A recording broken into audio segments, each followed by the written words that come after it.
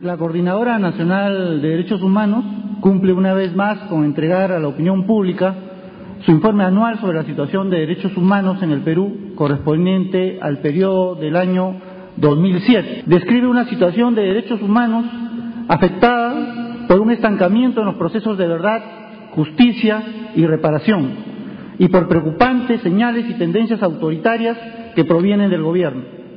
En particular, la coordinadora ve con suma preocupación el abandono del recurso democrático al diálogo planteado inicialmente por la presidencia del Consejo de Ministros.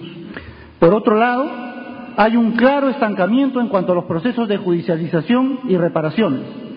El subsistema judicial de derechos humanos corre el riesgo de quedar desnaturalizado al haberse asignado casos de tráfico ilícito de drogas, secuestro o extorsión. Es muy lamentable que la justicia militar con la tolerancia del Congreso, persista en intervenir en casos de violaciones a derechos humanos que no le corresponden, en los cuales es muy clara la intención de facilitar una vía de impunidad.